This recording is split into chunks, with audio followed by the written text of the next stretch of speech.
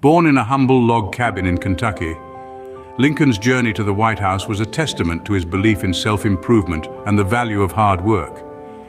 His thirst for knowledge led him to voraciously read every book he could lay his hands on, teaching himself law and politics. In a nation divided over the issue of slavery, Lincoln's eloquence and moral clarity rose above the din of discord. His debates with Stephen Douglas brought his anti-slavery stance to the forefront, marking him as a leader with a vision. Amidst a civil war that threatened to tear apart the very fabric of the nation, Lincoln stood resolute, a beacon of hope and unity. His words in the Gettysburg Address and his second inaugural speech continue to echo through the ages, reminding us of the cost of freedom.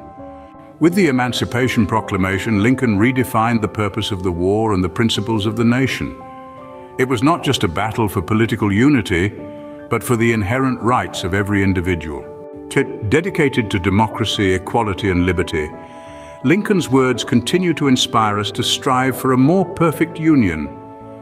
His leadership was marked by courage, compassion and an unwavering commitment to the ideals upon which the nation was founded.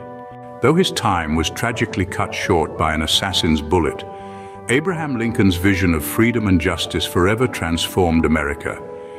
His legacy remains not just in the laws he passed or the battles he won, but in the hearts of those who believe in the promise of America. In the shadow of the Lincoln Memorial at his birthplace in Kentucky and in the countless places across the country that bear his name, his dream lives on. His vision of a government of the people, by the people, for the people, continues to inspire every American who cherishes liberty. As the strains of the battle hymn of the Republic fill the air, we are reminded of Lincoln's enduring legacy. It is a call to each of us to reflect on his contributions and consider what we can do to uphold the values he championed. For in doing so, we ensure that Lincoln's dream, his vision of America, shall not perish from the earth.